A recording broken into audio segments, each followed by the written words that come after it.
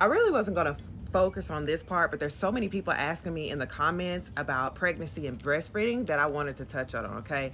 I am a pharmacist, all right? I earned my doctorate of pharmacy degree in 2016, all right? So what I'm gonna say is something that you need to really use, listen to when it comes to you taking this or any other supplement if you're pregnant or if you're breastfeeding, what I need you to do is not to ask anybody on social media if it's safe for you to take. I need you to go to your physician and ask those questions, okay?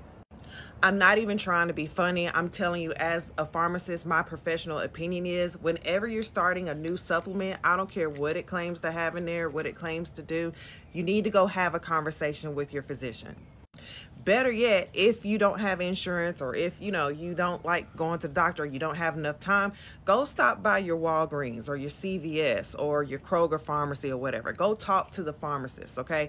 Pharmacists are trained to know exactly what interacts with what when it comes to medication and even some types of supplements can interact with some of the medications that you're taking so if you're pregnant, thinking about getting pregnant, or you're breastfeeding, definitely go have a conversation before you start anything, any supplement, any exercise program, whatever it is. Go have that conversation first to make sure that it's safe, okay? Now, this is not medical advice, all right? This is just my opinion.